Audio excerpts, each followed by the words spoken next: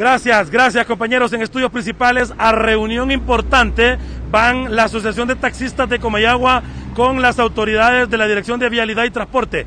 Preocupación en el gremio del taxi. ¿Por qué razones, Porfirio Sosa, nos dicen que están preocupados por mucho taxi brujo en la zona central? Así es, nosotros ya día le andamos repitiendo lo mismo todos los días en los medios, en, en las canales y ya no aguantamos la cantidad de taxis que nosotros tenemos en Comayagua, hasta cuatro veces los mismos números, con ese código 0301. Aquí no se sabe quién es la que anda legales. Yo le estoy pidiendo al Instituto de Transporte que venga a hacer una revisión de todos estos números de taxis que andan 0301 y la cantidad de, números sin rayas, sin, eh, trabajando, ya no podemos sabemos cómo está la situación, pero que, que anda legal, que trabaje y, nosotros no lo impedimos.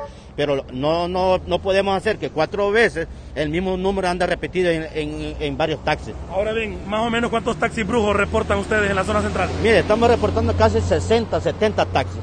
Nosotros necesitamos lo más pronto posible que el Instituto de Transporte venga a hacer una revisión en Comayagua porque ya no podemos nosotros. Al mismo tiempo, estamos ahorita, estoy pidiendo una reunión con el nuevo jefe de tránsito para ver si se puede hacer algo porque nosotros aquí ya no se aguanta la cantidad de taxis brujos en Comayagua. Ahora bien, del bono, ¿cómo van los avances? Pues estamos esperando que ya está aprobado por la Gaceta.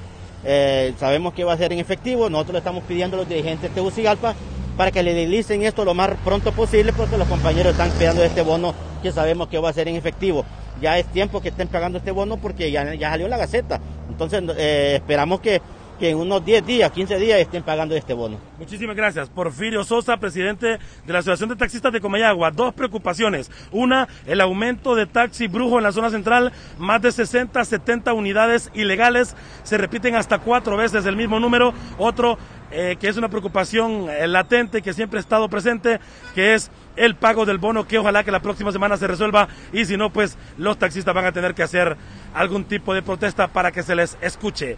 David Matuta en cámara desde la Antañona con ustedes. Adelante.